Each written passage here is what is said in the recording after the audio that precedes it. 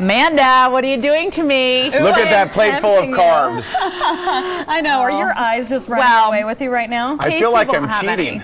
Just Well, by yeah. no. You know what? Y- You can have a nice walk before you have one because they're located right downtown. We're talking about Hagermann's Bakehouse Cafe offering stuff like this. And I, I tell you, I went to pick these up this morning. Got a nice view of the temple, the Joseph Smith Memorial Building. It's like sightseeing. Perfect, yeah. And then you get a feast. They've been there. They were one of the first in the new City Creek um, dining area. Yeah, Cool. Well, yeah. it's today's neighborhood joint. I know. Let's take a look.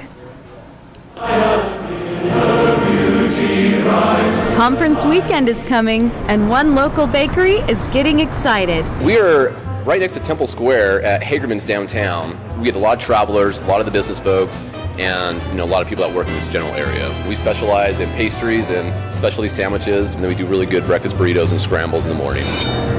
Uh, what do you find is that one special thing about your food that keeps people coming back? Um, probably the freshness and the jalapeno jellies, which are made locally by my friend's aunt, uh, matter of fact.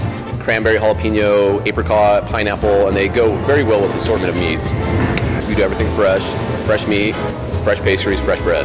Very, very good. So, if fresh pastries and sandwiches fit your idea of a good time, get on the list of regulars before the rush. As the weather warms, as City Creek gets finished, it's just going to bring a lot of people in.